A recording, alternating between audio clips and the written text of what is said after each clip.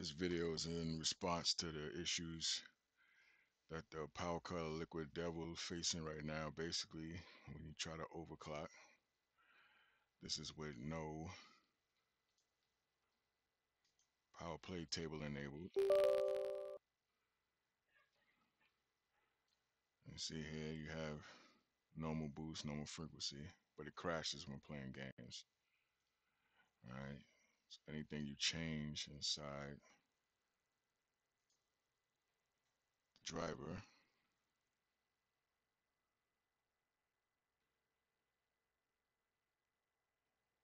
or change the frequency rather, fine tool control, just blanks out. Boost goes to 300 if you change any other frequency.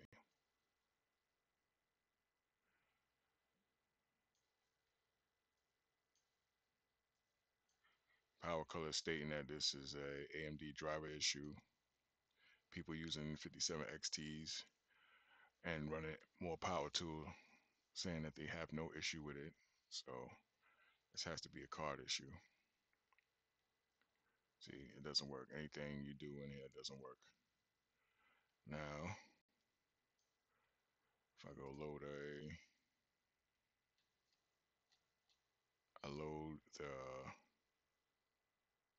BIOS that comes with the card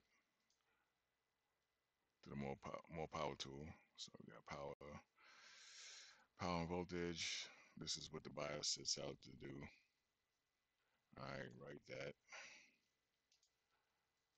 Go ahead, start the driver.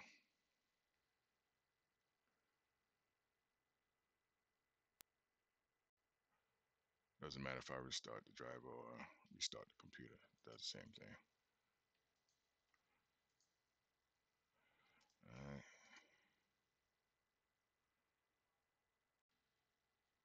Pay attention to the fan on both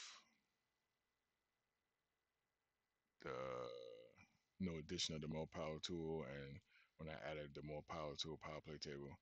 Fan has always bugged out with this reading of RPM.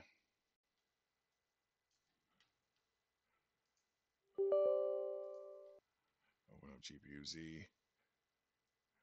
Now you see the boost, the default clock boost is 300. So when you play a game, no matter what you do, it's always going to be 300 megahertz.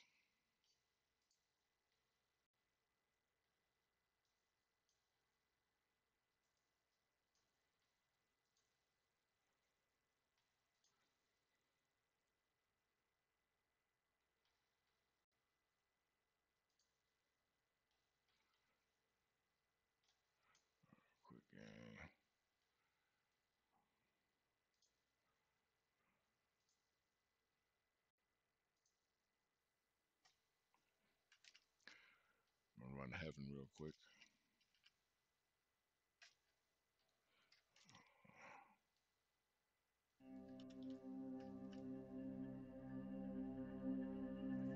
See, just crashes.